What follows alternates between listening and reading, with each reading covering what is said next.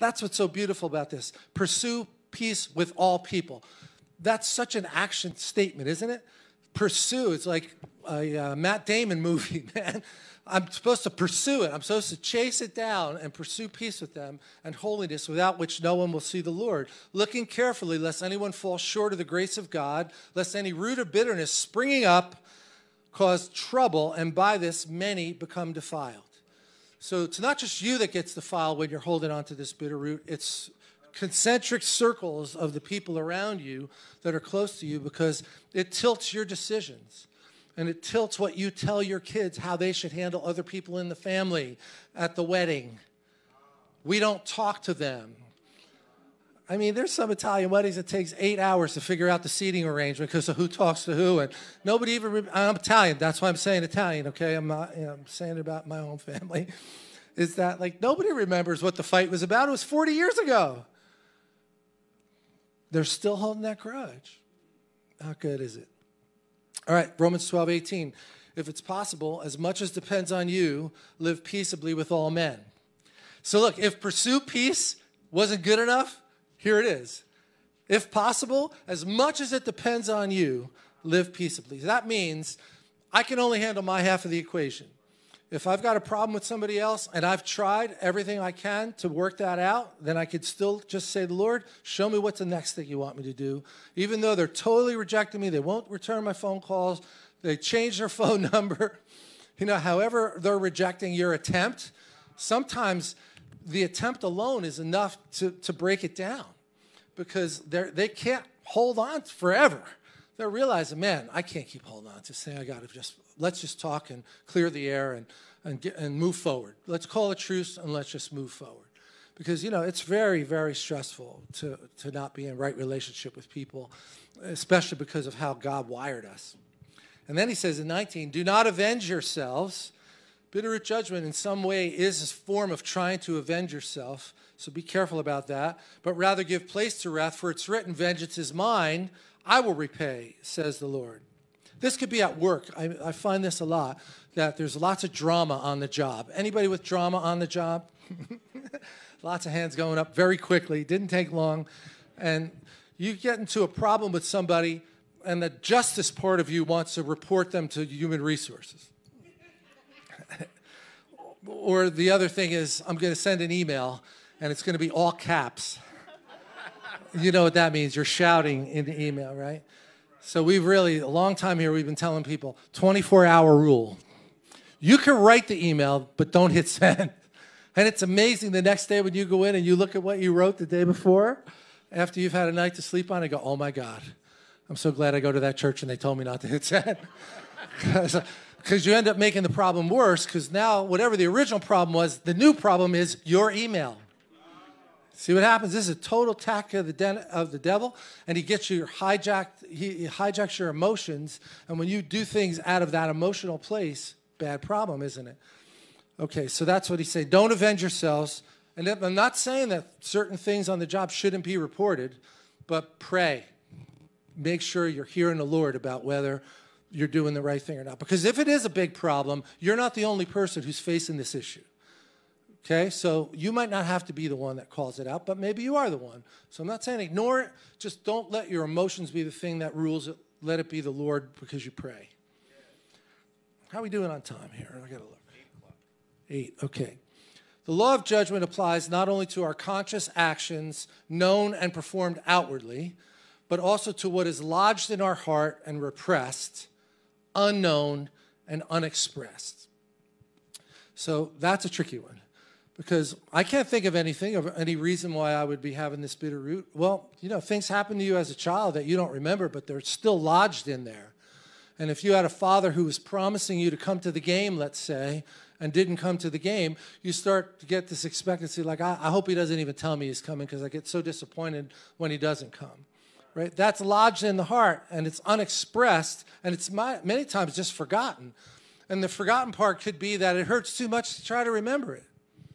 And in this class, sometimes memories will come up that you would almost like try to block it and say, "Oh man, you know, I want I want to be whole, but it hurts too much to remember how I was treated or remember what that thing was that I was going through. And, and that's why the prayer is so important at the end and why you have to picture Jesus going back into that place with you and walking through it with you because it's real. The pain is real. What, what happened to you was very hurtful. But if you just let it stay in there, it's just going to keep percolating more poison. That's, like you said, it's not expressed and known in our conscious mind, but it's in there. And it says, once formed, the judgments bring results. Bitter roots that are not brought to the cross will defile you and many others. Bitter roots may be the most powerful negative force in our lives, bringing destruction to us and those around us. Now, that's written by the Sandfords, who counseled for 40 years, right? So, of all the topics that you know we cover, they're saying this could be one of the most toxic things, and partly it's because it's hidden. And, and just ask you a general question like, is there ever a time that you're angry and you don't feel justified to be angry? right? Of course you feel justified. I have a reason to be upset. Well, I, of course you do. You don't just make it up because you got nothing better to do and you're bored. I think I'll be mad at somebody. It's just, are you going to allow that thing to hijack your emotions? Or are you going to try to rule your spirit, right? Because it says in Proverbs that a man who doesn't rule his spirit is like a city with the walls broken down which means you're open to attack. All right, so this is why another really important reason we got to get to the roots. For us, roots are habitual ways that we drink nurture from God, others, ourselves, and, and nature. Now, that's a really kind of very Sandford kind of statement to make.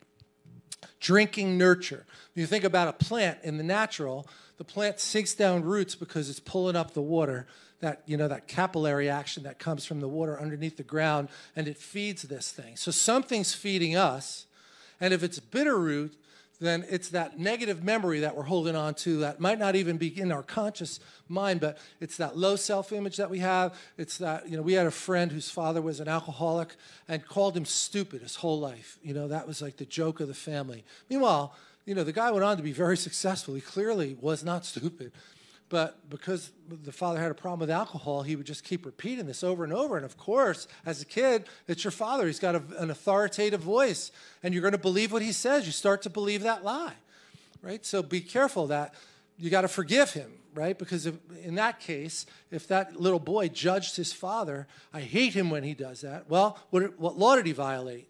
Honor your mother and father that life may go well with you. Did he have a reason? Yes. Was it still a sin? Yes. Anybody want to leave at this point? Because really, no, it does. It feels really unfair that that would be the case, right? Like that little kid didn't know any better.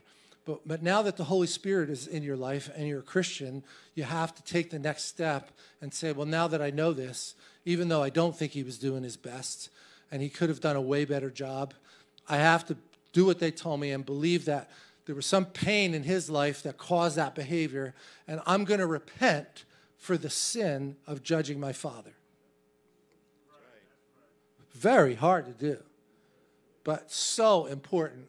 Can't even tell you how important it is. Sometimes with the Word of God, you just have to do it out of obedience. And there's just some amazing cleansing thing that happens. Over the years, now 20, 20 years we've been doing this.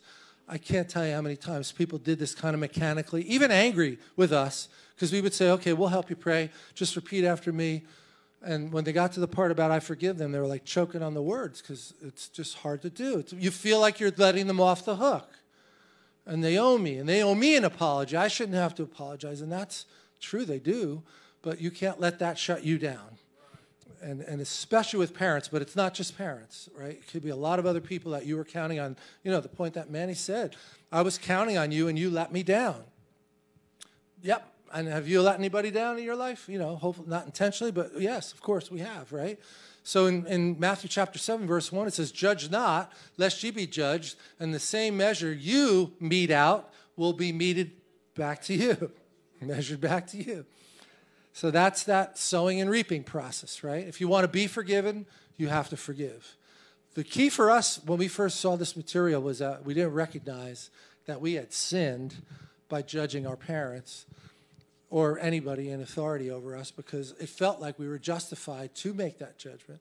But especially with parents, because it's not conditional, you have to break, uh, you have to ask the Lord to forgive you of the sin of judging them, and that it's amazing. It just frees up all kinds of baggage in your life.